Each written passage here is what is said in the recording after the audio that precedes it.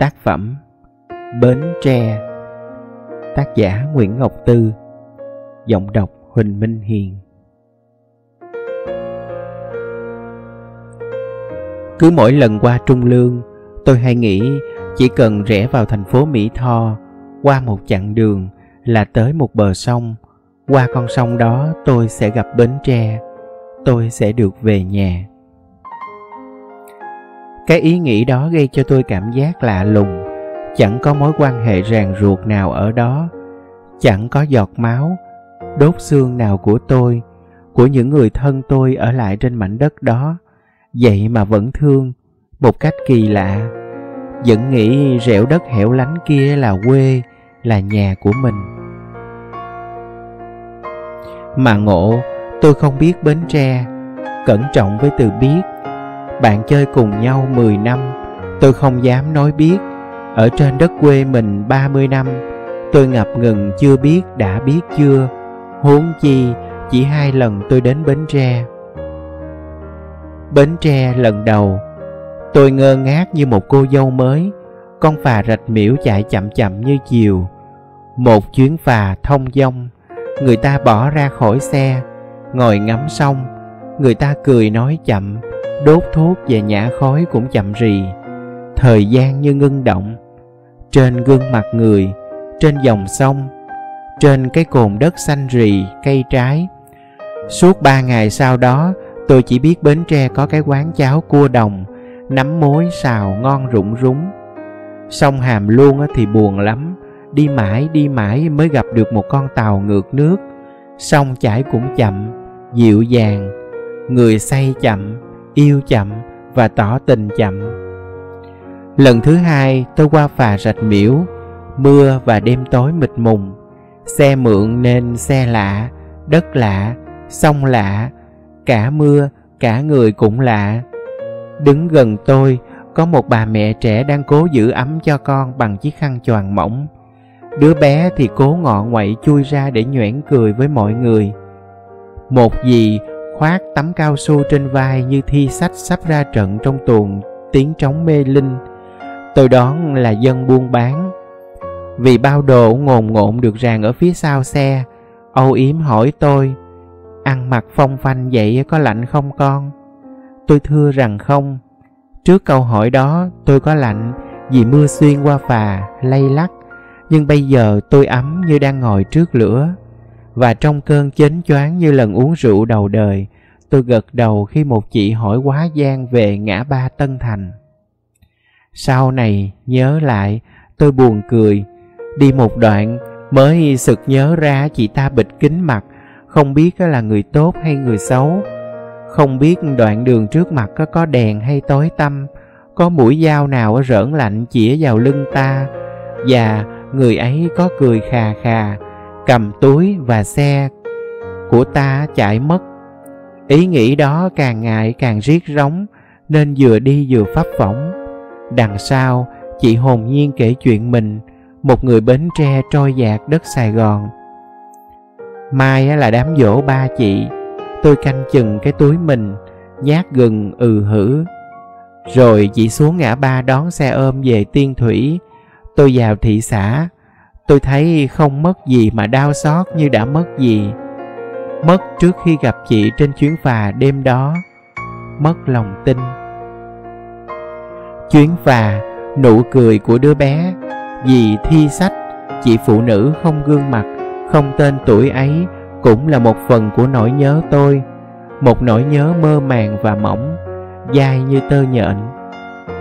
Hay nó chỉ là cảm giác như một mảnh gió bị lá cây xé vụn. Nhưng vẫn còn đủ ướt lạnh khi lướt qua da ta làm xe những lỗ chân lông cay mắt và rùng rùng từng đốt sống trên lưng. Cảm giác thanh sạch vì một dòng hàm luôn trong vắt, hiền hòa, dịu dàng, lừ đừ. Cảm giác bình yên như những con đường nhỏ hai bên phủ đầy cỏ chạy mê miết, dưới những vườn dừa mê miết. Cảm giác ấm áp với những người bạn ít nói hay cười, từ tốn, nói câu nào chắc câu ấy, không giao đãi à ơi. Cảm giác thơm thảo như mùi nấm mối nướng rợp cả góc giường bên sông. Cảm giác ngây dại, hồn nhiên khi rượu phú lễ ngắm vào lòng. Và tuổi thơ thiếu thốn nào dậy lên khi ngậm lại cục kẹo dừa ngọt lừ, béo ngậy. Khi tôi ngồi ghi lại những cảm giác rời này tôi nhớ câu nói của tài, người ta tốt đến nỗi mình thấy mình không xứng đáng. Bến tre dễ thương, xuống đó gặp toàn được rửa, nhưng về nhà viết mấy bài thơ tình. Tôi nhớ lúc ông sếp tôi buồn, căng thẳng, lúc đau, lúc bị những đồng chí của ông xiên tên vào lòng. Ông hút thuốc nhiều và ngó ra ngoài cửa, chép miệng, nhớ tụi bến tre quá chừng. Cũng ông mỗi khi vui, ông lại nhắc, phải có mấy đứa bến tre ở đây. Tôi nhớ lời duyên từ khi từ giả bến tre rồi. Mưa ở đó cũng hiền. Tôi nhớ tới lời bài hát, ước gì đang trắc trở, gặp nụ cười bến tre. Nhưng cụ thể bến tre là gì, tôi không biết. Kỷ niệm gom lại thì cũng một chuyến đi chơi xong. Đám bạn bè nhổ tôi từ quán này trồng qua quán khác từ cháo cua đồng qua nắm mối, cháo dịch những con đường nối tiếp, những con đường đưa tôi đến một đám cưới rộn ràng. Chú rể cười xòa như năm trước cười tiễn tôi, đường dài, thẳm nắng. Những chiếc phà chậm rãi cắt ngang những dòng chảy chậm, chơm chơm chín đỏ, chất vung trong những cái cần xé để bên đường. Những ông bà già nhảy tango trong sân nhà văn hóa, rượu phú lễ trong dắt sủi tâm một người viết lớn càng thu mình càng lộ lộ ra, con đường hẻm heo hút, ngôi nhà nhỏ, vườn dừa. Không có gì che chắn được sự phát sáng đó. Những người viết trẻ hơn, ngà ngà đọc những câu thơ cũ, xếp bằng ngồi mời rượu nhau ở hàng ba nhà của một nhà thơ nghèo. Sau lưng là tấm vách bằng mê bồ trét cứt trâu, những tấm vách che bề nào cũng gió và căn gác trọ, có ông già tiếp tân vui tính. Chỉ còn ở vài chiếc răng lơ phơ, duyên dáng kể chuyện đời mình. Cũng bằng thơ, vẫn nhớ vòng số năm mà tôi từng ở. Để sau này nữa, ông lại trao cho tôi chìa khóa phòng số 5 tôi nhớ được cũng chỉ có như vậy, viết trôi chảy cũng chỉ như vậy. Những cảnh như vậy có thể gặp ở bất cứ đâu trên vùng đất tây nam bộ này nhưng cái cảm giác bến tre thì không lẫn vào đâu được. Cảm giác của một người đứng trước sông, giải thích về sự hiền hòa, ngang tàn, trầm tư, hào sản và cởi mở của bến tre. Tôi chỉ biết lấy cái tấm thân thế trước sông của bến tre ra mà nghĩ. Quay mặt về đâu cũng xong, đi đâu, ngó đâu, tiền giang hay vĩnh long, trà vinh cũng có những dòng sông dây bọc sông rẽ đất mà chảy, cắt những cù lao để trọn một vòng tay mà ôm lấy cù lao. Phía còn lại là biển, bến tre như một người ngồi thiền định trên một lá sen tâm trong trẻo róc rách tiếng nước đang lên. Một miền tây thu nhỏ ít phai lạc, nhiều cảm giác. Và vì nó nhiều cảm giác, nên tôi không biết thể hiện cụ thể hóa bằng câu chuyện của mình như thế nào viết lại cảm giác là một điều không trọn vẹn, ít nhiều gian dở, huống chi là chia sẻ.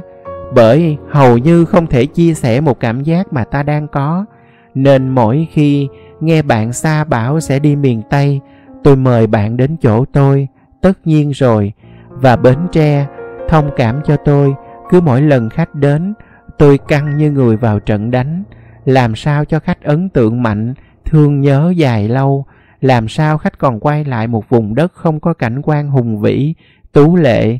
Làm sao người nhớ ta như ta đã từng nhớ người? Ra trận, chỉ những món ăn ngon lạ lùng, những cánh rừng ngập mặn mênh mông, những dòng sông mùa nào cũng đầy nhóc nước, những con rạch quanh co, những chiếc xuồng ba lá trao trên mặt nước mong manh. Ra trận còn có những con người mà tôi nghĩ cũng là những kỳ quan và người bến tre với tính cách sánh đặc, nồng miền tây nam bộ, sẽ làm choáng váng ngất ngây khách lạ. Tôi cũng là dân miền tây, gặp bến tre còn thấy ngẩn ngơ, thấy ngọt ngào nữa mà. Thông cảm cho tôi, một người tầm thường của vùng đất bị quên lãng bởi chiến tranh, bởi trắc trở địa lý, bởi những dướng bận dụng vặt đời thường.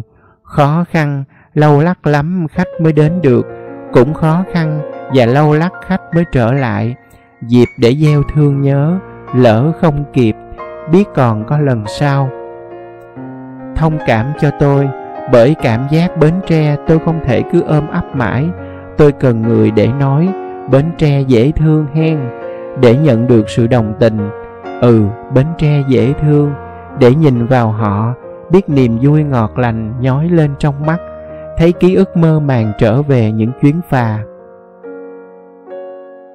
chuyến phà mang vẻ mặt cô gái sầu muộn, làm cho nhịp sống đô thị ngẩn ngơ, dừng lại bên kia những con sông.